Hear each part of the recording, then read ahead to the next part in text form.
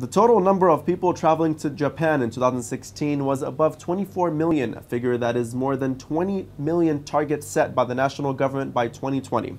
This achievement came just four years before the set data and visitors from Muslim nations represented a steadily increased part of the total amount. Japan embraced halal tourism several years ago and the effects are quite visible.